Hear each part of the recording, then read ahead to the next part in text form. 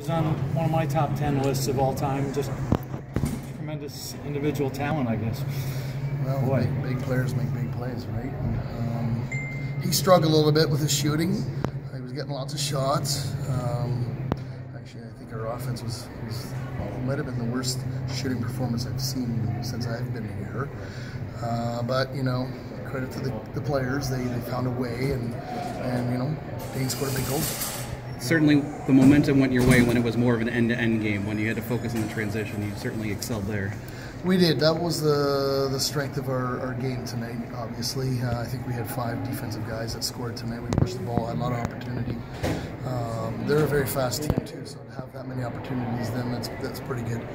Um, but unfortunately, the, the, game there's a lot more to the game than just transition. And, and you know, I, I thought there was some shifts of brilliance on defense. I thought we, we you know, uh, pressured real well. We're in the lanes, um, you know, had our assignments and all that.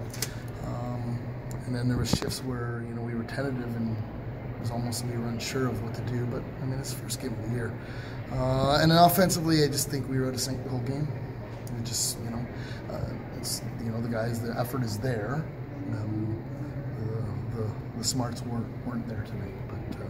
But, we did have a lot of shots. And, you know, I, I, at halftime, I know we missed the net 20 times. So that's a, that's a lot of shots to, to miss. How much of a turning point was getting two shorties on the same uh, man down? That was huge. That was huge. You know, um, our, I mean, that was you know our defense doing that, uh, tr the transition and then off the face-off. You know, just gave us a little bit of breathing room. But we, you know, um, you know, we have to win these games because every game is like this in this league, where there's a one goal, two goal, three goal uh, game. So, um, you know, we, we, found a way, and we'll take it. Awful lot of special teams goals both ways. You know, I don't know what the, the final numbers wound up, but you probably held your breath every time you had a guy going on the penalty box tonight. They were pretty good. Yeah, the extra man.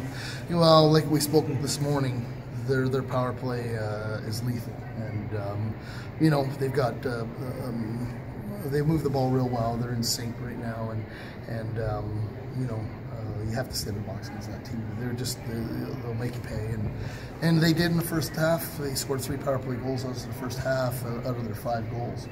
Um, so you know, it's just it's you know you have to take away some of their strengths, and and we we fed into a little bit and took some dumb penalties.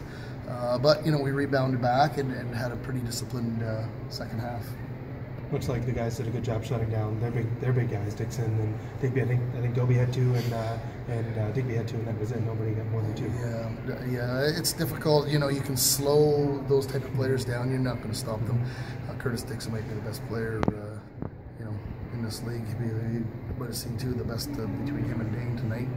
Um, so you know, our defense did a good job. I, I thought um, in that respect, but uh, uh, still got lots to work on.